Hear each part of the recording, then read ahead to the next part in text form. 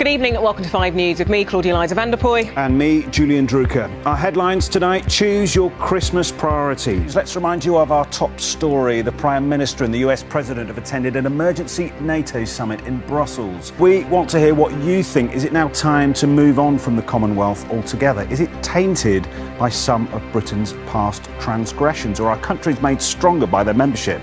Uh, a third of the world's uh, population are in it, of course. WhatsApp us on the 5 phone 07 555 500 501 is the number. From across the UK, this is 5 News. Hi there. We've all noticed it. Many are feeling the pinch and some are really suffering as the cost of living crisis continues. Today, confirmation that prices in the UK are rising at their fastest rate in decades. Inflation reached 9% in April, driven by soaring energy prices. Well, to put that in context, take a look at this. Uh, there we are. You can see there's been a really steep rise in inflation over the past year or so. And then get this this is how far back you have to go to see the last time that inflation was actually this high. That is 1982, 40 years ago, around the time of a recession. Peter Lane has our top story. Let's do one more snapshot survey in case any uh, ministers are watching tonight. But who feels the government could do more to help at the moment?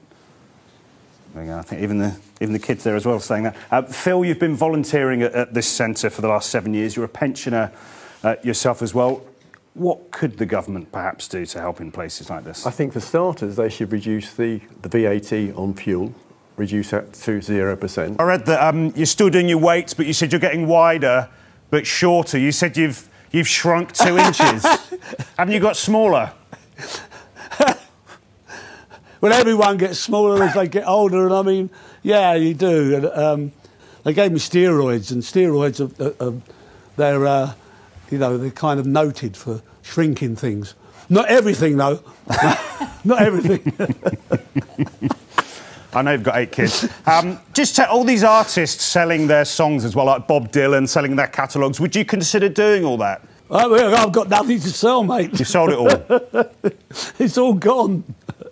Where we are is the epicentre, this makeshift uh, refugee centre. It's the car park of a long closed Tesco superstore. 300 or so volunteers uh, working 24 hours a day, helping so many people plan so many journeys.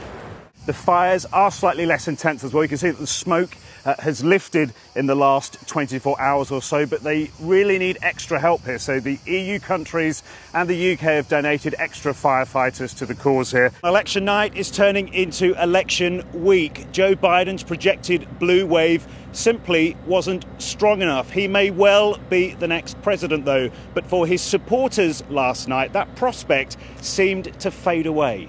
Julian, what's the five phone been telling you then? Always tough to read some of these uh, messages, and we thank for, uh, people for getting in touch. Valerie in Lancashire, I'm a single parent to two high school children. Uh, I now work 54 hours a week to make sure I can maintain a semblance of norm- normality for my family.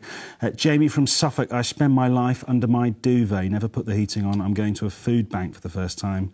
Uh, I feel so embarrassed and worthless. Um, I hope you're okay, Jamie. I know there's been at least one person who, who, uh, who broke their arm and another who had some sort of break, I'm not sure where. so we have not had. Sue the Met. I mean, there is the possibility that could happen.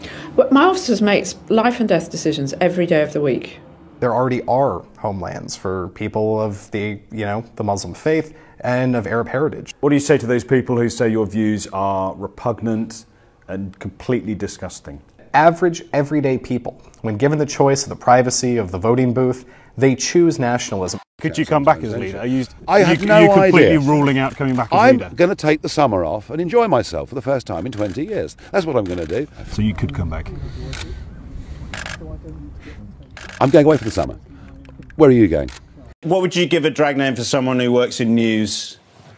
You know. Oh, that's a good one. Are you are you applying for season three? Is that what? Well, I don't know. I mean, it, it's a possibility. I mean, there was pan, there was pandemic, wasn't there? Sort pandemic is yeah. a possibility. Um, fake news, depending on how That's, much yeah. research you've been paying yeah. yeah into your things. Um, but I think you'd make a gorgeous drag performer. That's so cool. I'll, I'll consider it. I'll, I'll write it down. Well, she said she was particularly excited to hold the crocodile. Uh, she said they look vicious, but they're actually tame and friendly. Like politicians. yes, I couldn't possibly say. Uh, Pauline, love it, love it, love it. I wish that I is it do that. Uh, for tonight, isn't it? Alex said the weather next. Have yourself a very good weekend. Bye bye. See you soon. Bye.